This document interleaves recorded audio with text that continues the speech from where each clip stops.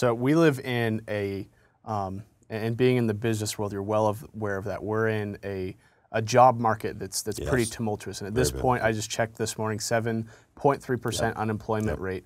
How does all of this fit for people who, um, despite their best efforts right now, are finding themselves That's right. out, out of a job? That's right. Well, listen, I tell you, I greatly uh, feel for the people that are out of work. I've been out of work. I've been unemployed. I know what it feels like. And it's a terrible place to be. You feel like you're not important. You feel depressed. Um, and I think one of the things that helped me when I was in those type of situations was to go find something to do. I mean, we can work doing things even though we're not getting paid.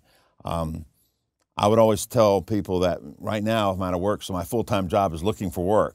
But at the same time, I found uh, opportunities to go do other things that may not, not necessarily have paid me, but kept me engaged and made me feel like I was being productive.